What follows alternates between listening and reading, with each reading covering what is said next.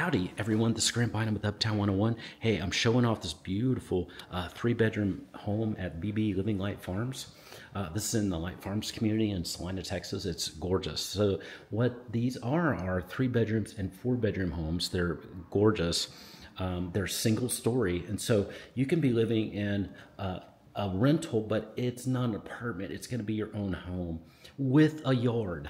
So uh, this is an example of what it looks like. You've got uh, actually, you've got uh, in this case uh, turf out there, and you've got a pretty yard for a dog and things like that.